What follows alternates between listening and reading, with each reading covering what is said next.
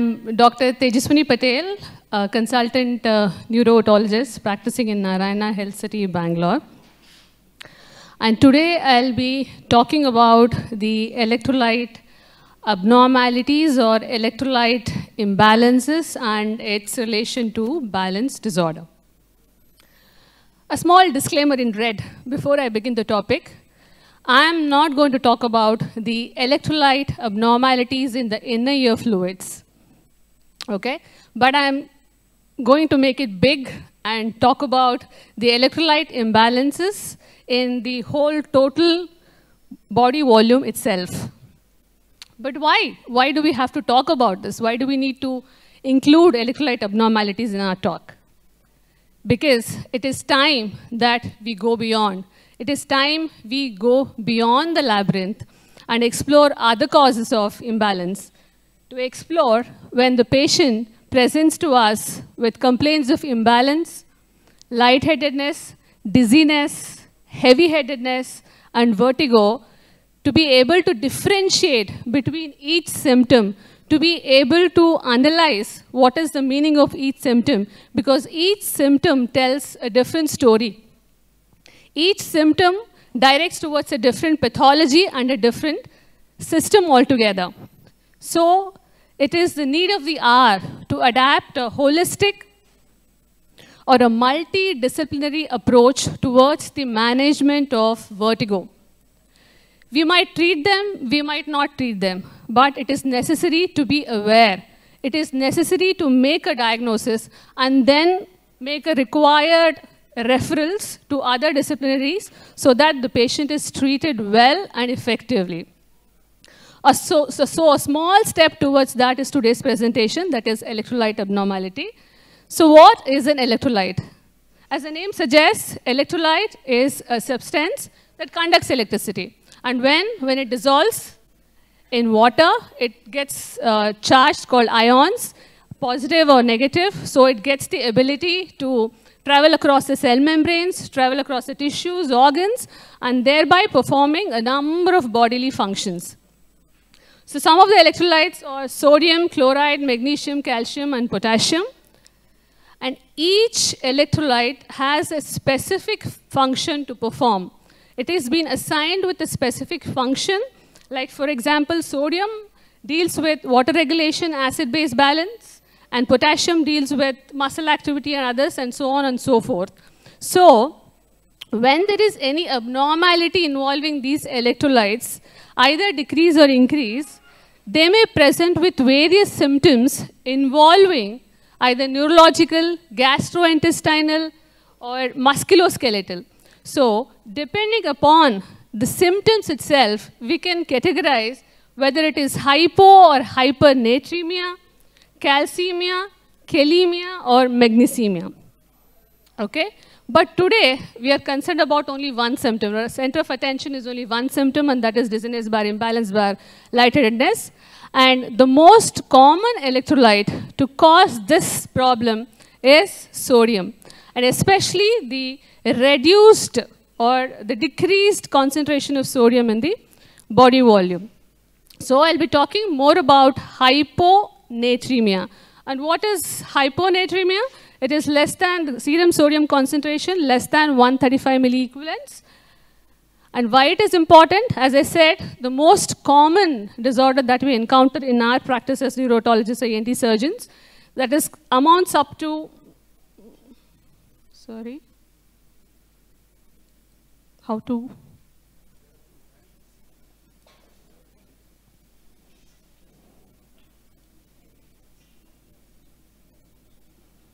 Yeah, so this uh, says that around 15 to 30 percent in hospital setting, especially intensive uh, care units present with hyponatremia. So what are the causes of hyponatremia? There are many causes, but most importantly, it is excessive fluid loss that can happen because of sweating, burns, vomiting, diarrhea, poor nutrition, involvement of uh, liver, heart, or kidney, whereby the fluid balance is affected, or when there is thyroid abnormality or adrenal disorders causing Addison's disease, even those things can present with uh, hyponatremia.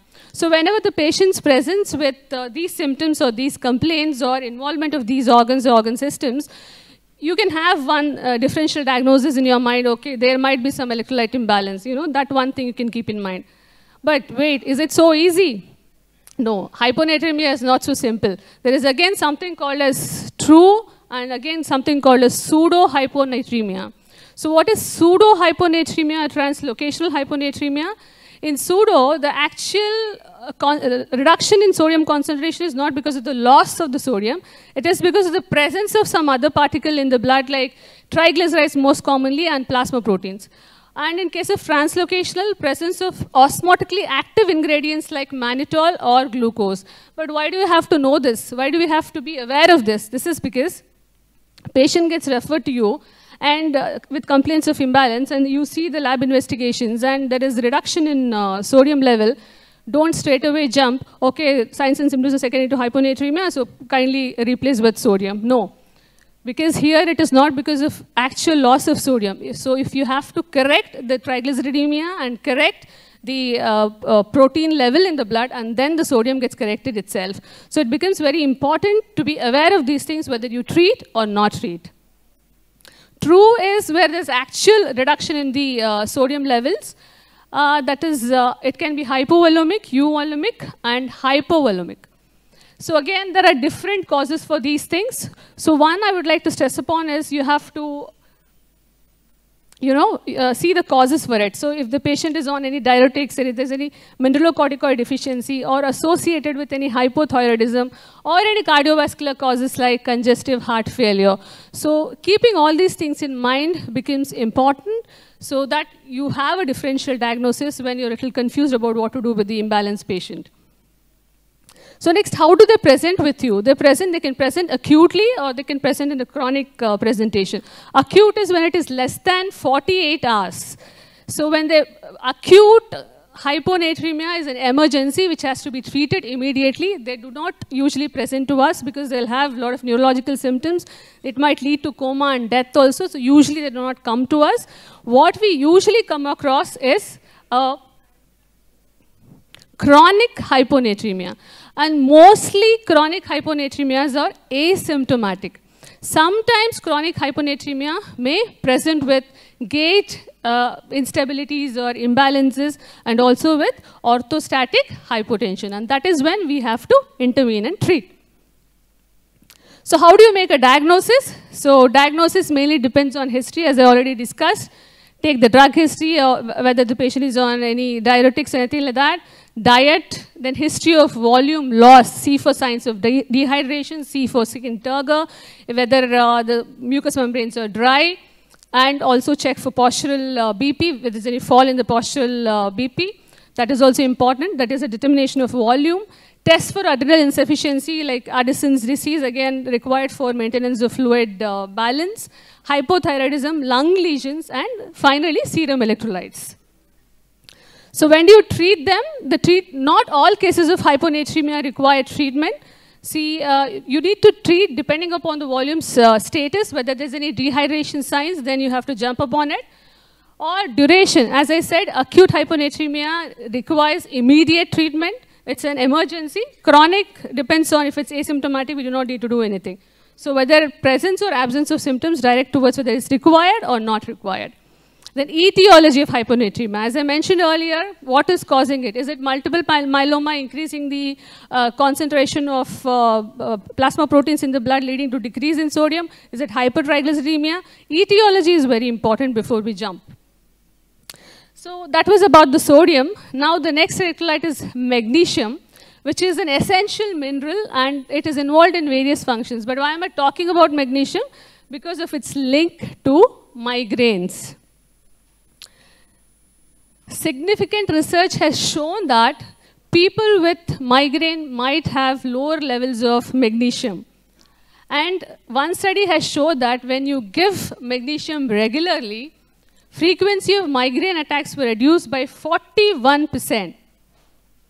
Other research showed that daily magnesium supplements are effective in treating menstrual cycle related migraine attacks. It's, it actually prevents it.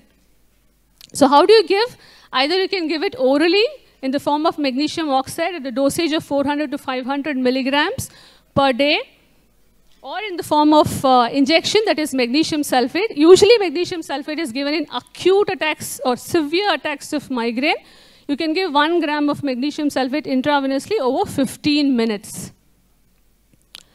Or simpler way, advise the patient to take it naturally in the food. So ask the patient to have a nutritious diet, which is much simpler. But one thing I would like to mention is magnesium is a much safer uh, uh, drug or uh, supplement to be given. So it can be given even in uh, pregnancy and lactation also uh, in case of uh, migraine patients. Next, I didn't know whether I had to include this slide or not. Anyways, I included it. Vitamin D and BPPV. We all know BPPV is due to dislodgement of the calcium carbonate crystals and there is calcium, the electrolyte. And vitamin D is uh, required uh, for the absorption of uh, calcium. Some people say that uh, vitamin D is useful in uh, refractory or recurrent uh, BPPV. So a study was done and they gave this following postulates. One was, according to theoretical considerations, there exists a link between BPPV and vitamin D. So given the prevalence of vitamin D deficiency and the ease of giving vitamin D, give it anyways. Whether it works or not, give it anyways.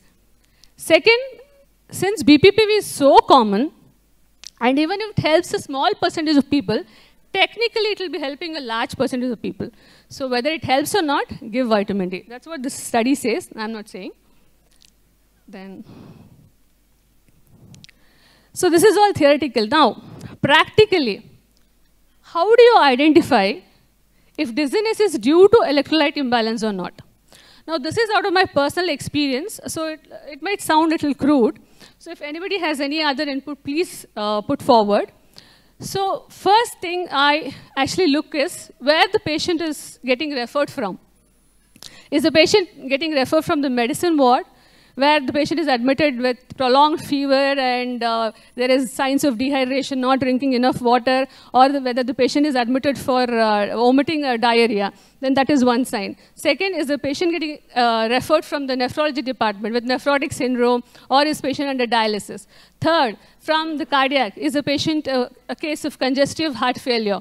So these are the signs. The moment I come to know about the department the patient is referred from, the flag goes up, okay, this might be electrolyte imbalance. Second, the uh, presenting symptoms. Usually with hyponatremia, the patients present with postural imbalance symptoms, like when they get up from sitting in position or they get up from lying down position, they have a feeling of mostly a lightheadedness kind of feeling, a dizziness kind of a feeling. So that is one more indicator. Third, while doing examination, when you do the positional examination like Dix-Hallpike and roll test, you put them in the uh, Dix-Hallpike position, nothing happens, there is no vertigo, there is no nystagmus.